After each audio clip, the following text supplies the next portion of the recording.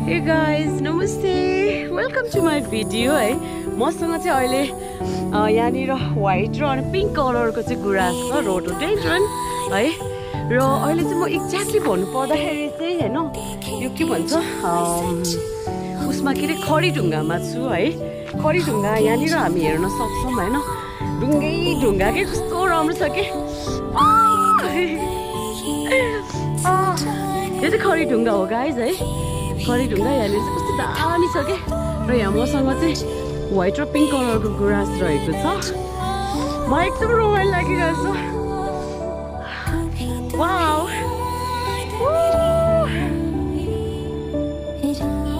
गुराँसले फुल्दा भन्ने घमाइलो। थाहा छ गाइज एउटा कुरा चाहिँ तिन दिन अगाडि चाहिँ यहाँनिर चाहिँ स्नोफल भएको रहेछ कि?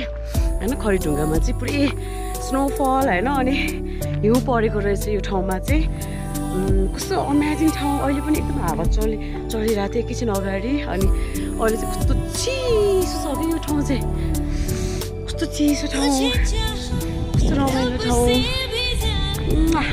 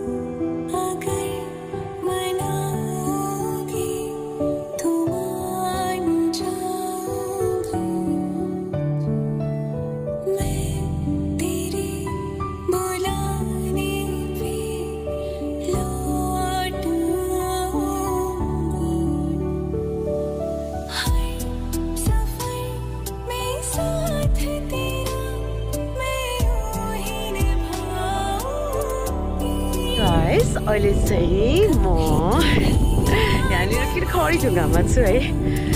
लङ टाइम पछि चाहिँ आउनु त चार वर्ष अगाडि आएको थिएँ है लास्ट टाइम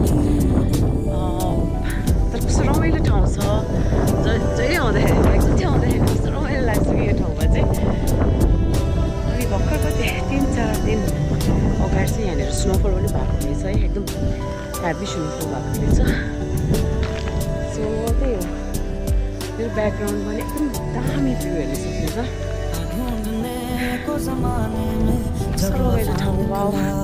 अनि मसँग चाहिँ यहाँनिर दुइटा मात्रै कलरको गुराँस छ है एउटा पिङ्क अनि अर्को चाहिँ व्हाइट र रेड कलरको गुराँस चाहिँ हामीले बाटोमा पनि हामीले कति देख्यौँ होइन अनि कति देख्यौँ अनि यहाँनिर चाहिँ पर्पल कलर ब्लू कलर पनि गुराँस पाइन्छ अरे यो ठाउँमा चाहिँ अचम्म लाग्दो ठाउँ रहेछ र यो चाहिँ खरिढुङ्गा हो यहाँनिरको ढुङ्गाको विशेषता नै बेग्लै छ वास्तवमा भन्नुपर्दाखेरि है ढुङ्गै ढुङ्गा छ यहाँनिर अनि पुरै त्यो हुन्छ नि खाली खाली डाँडा छ है कस्तो रमाइलो ठाउँ